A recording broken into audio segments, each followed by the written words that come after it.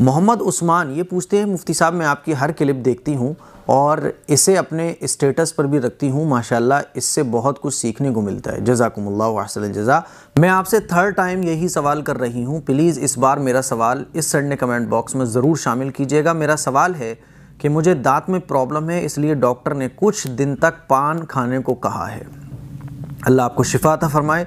इसीलिए मैं रोज़ रात को खाना खाने के बाद थोड़ी देर वॉक करती हूँ और पान भी खा लेती हूँ। साथ में दुआएँ भी पढ़ा पढ़ा करती हूँ।